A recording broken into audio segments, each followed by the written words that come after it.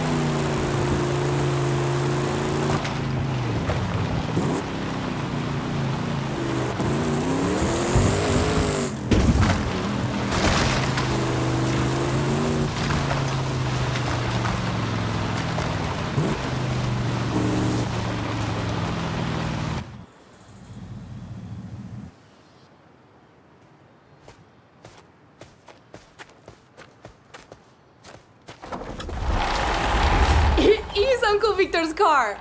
Ford Escort. It has to be. Less than a quarter of the field made it to the finish line in Mexico City. But five out of the top ten were these things. That's how it got the name.